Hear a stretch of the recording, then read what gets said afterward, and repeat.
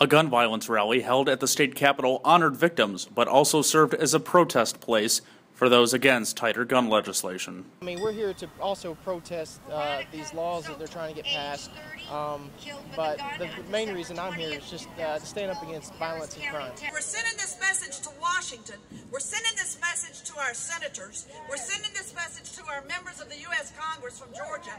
And we're sending the message right up here to the state capitol. And I know and you know that we're not standing for one day. We're standing until we get to common sense gun legislation. When it comes to carrying a gun on a college campus, Wayne Sealing had this to say.